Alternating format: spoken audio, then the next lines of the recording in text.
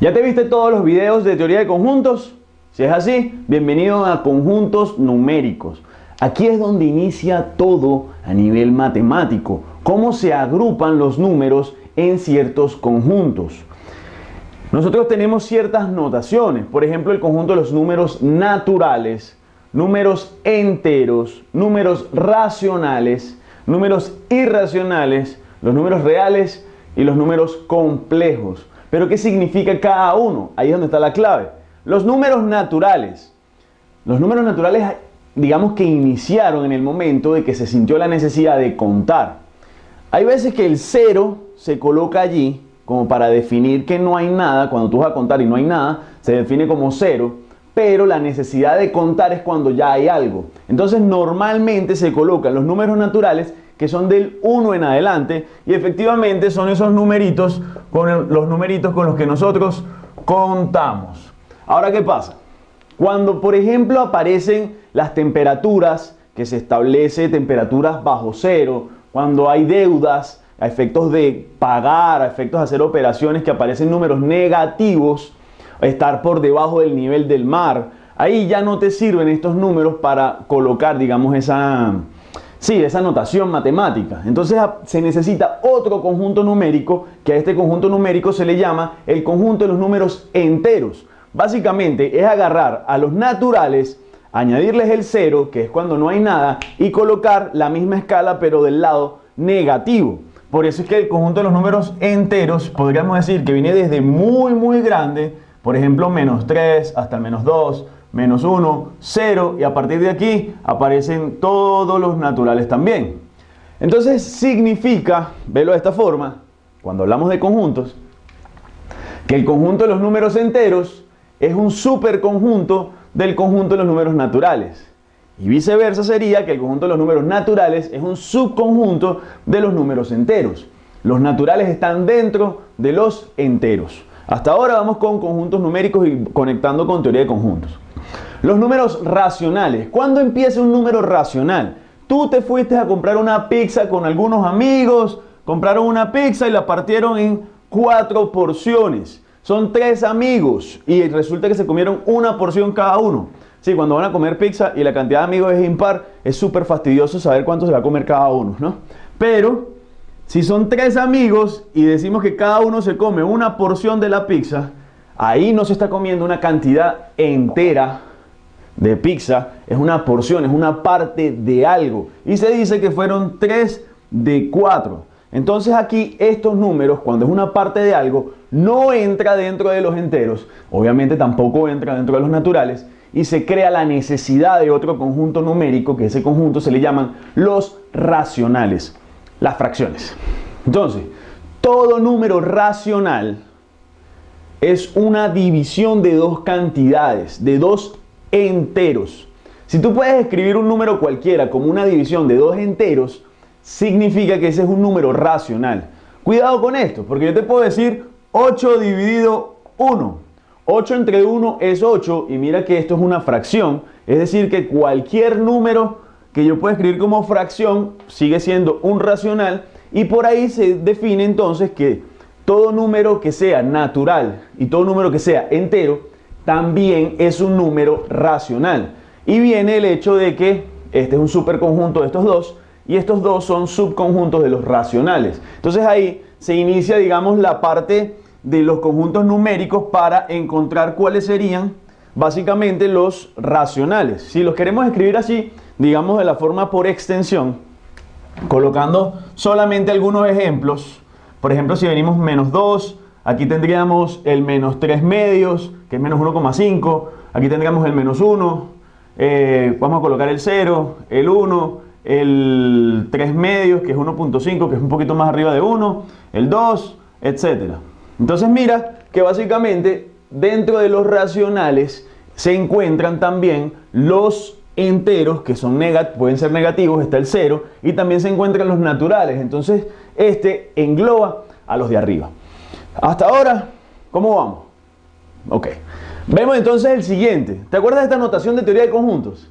¿Qué significaba la comillita? Si no lo has visto, no te lo vayas a perder. La notación y simbología. Eso significaba complemento. A esto en conjuntos numéricos, al que es una Q con una comillita o con un asterisco o con una C aquí arribita chiquita, es el complemento de este. A este se le llama el conjunto de los números irracionales.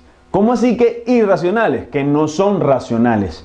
Entonces es que resulta que aparecieron ciertos números en la matemática eh, que no se podían representar como una división de dos números enteros. O sea, tú no puedes representar esos números, tú no los puedes representar como una fracción, ¿de acuerdo? Entonces, al presentarse estos números, se necesitaba crear otro conjunto numérico.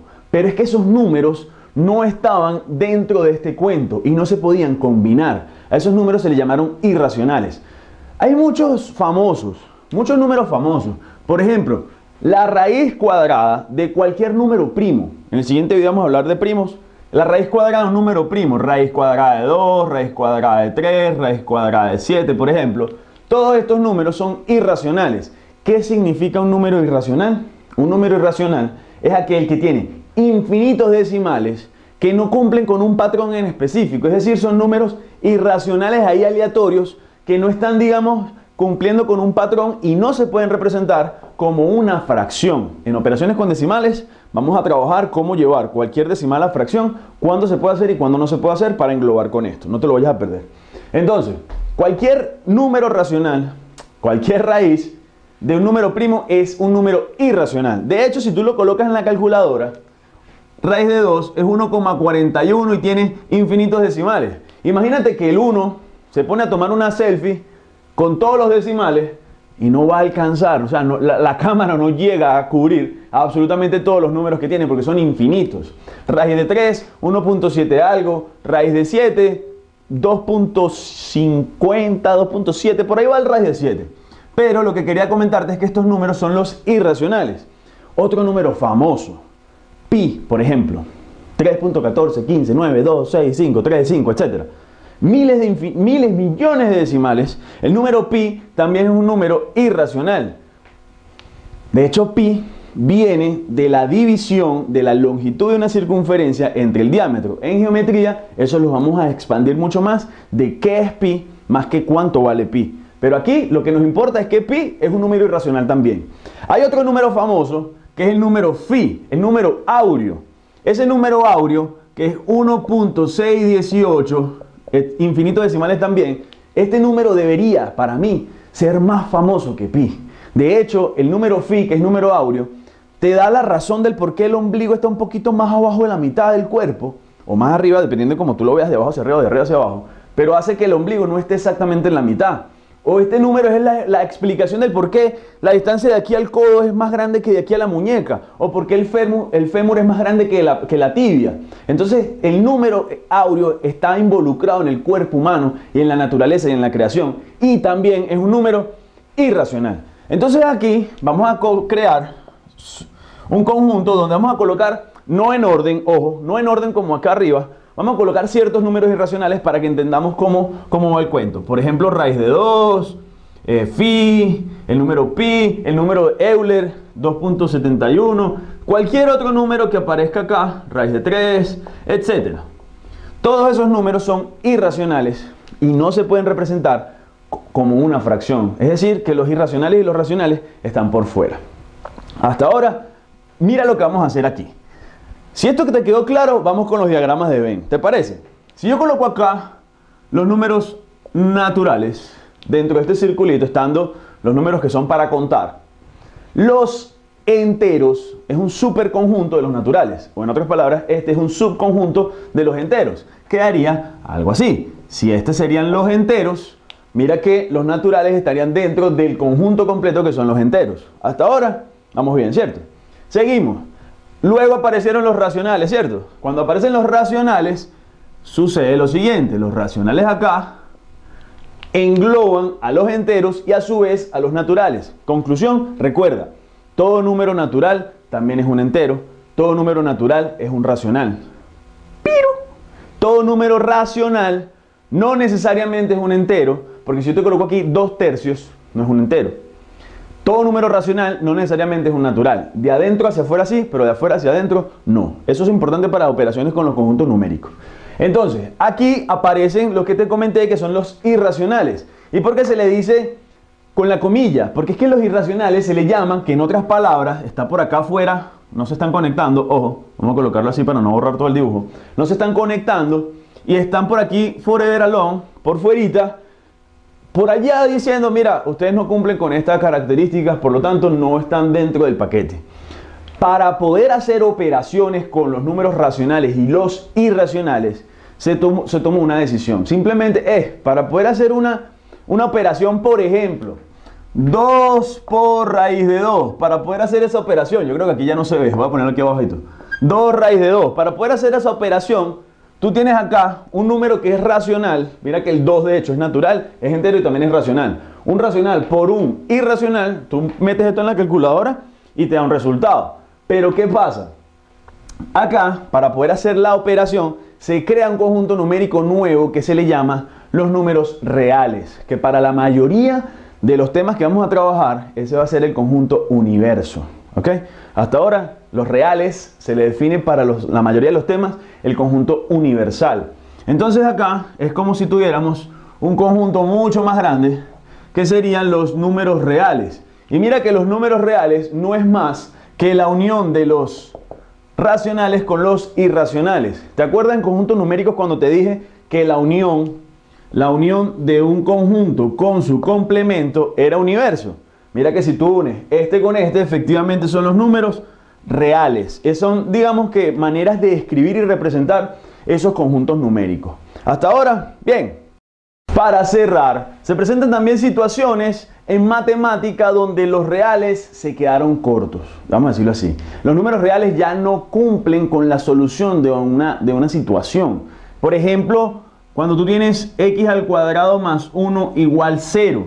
Tú acá dices que cualquier valor que tú coloques para los reales lo eleves al cuadrado, eso va a dar positivo. En aritmética lo vamos a profundizar más. Cuando le sumes 1 a un número positivo, le sumes 1, ni de vaina te va a dar 0. La única manera que tú le sumes 1 a un número y te dé 0 es que esto dé como resultado menos 1, porque menos 1 más 1 de 0.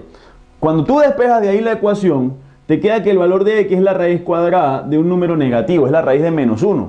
Si tú colocas aquí la raíz de menos 1, el 2 se dice que cancela la raíz y quedaría menos 1 más 1 es 0, pero este número no está definido en los reales. A partir de allí es que nacen los números imaginarios, un conjunto numérico nuevo que está por fuera. Y así como para los reales hicimos la unión de lo que sería los racionales con los irracionales para poder hacer operaciones, para poder operar entre reales e imaginarios se crea un conjunto nuevo en el que se le llama el conjunto de los números complejos. No son nada complejos en realidad, pero se les llama así, el conjunto de los números complejos, que es la unión de los reales con los imaginarios, y lo voy a colocar acá con esa C. Es decir, que cuando yo tenga esta C con esa raya de notación de conjunto numérico, significa en el fondo que es el conjunto de los números complejos, donde los números complejos son los reales unidos a los imaginarios. A partir de acá, teniendo definidos todos los conjuntos numéricos, se pueden hacer todas las operaciones que se quieran y se pueden plantear ejercicios. Recuerda que en la página, ahorita te digo y te recuerdo eso, vamos a tener los ejercicios. Pero por ejemplo, tú puedes decir que el conjunto de los racionales y los irracionales son disjuntos, disjuntos que no tienen nada que ver el uno con el otro. Si tú haces, por ejemplo, la unión entre los racionales con los enteros, la unión quedan los racionales, porque los enteros están dentro es un subconjunto de este. Si tú haces la unión de un conjunto más grande que incluya al otro, la unión simplemente queda el más grande. Entonces, a partir de allí, con ese tipo de ejercicios, se permiten profundizar todo lo que tiene que ver con conjuntos numéricos. Si te quedó claro, si te gustó, no olvides porfa el like, comenta lo que sea. Si tienes dudas, igual obviamente comenta. Si te quedó todo clarito, déjalo ahí, déjalo ahí clarito. Este, por último, en la página epsilonpreu.com vamos a tener los ejercicios de todos estos conceptos para que profundices y hagas ese engranaje perfecto y te vaya muy bien en las evaluaciones que tengas. Chao.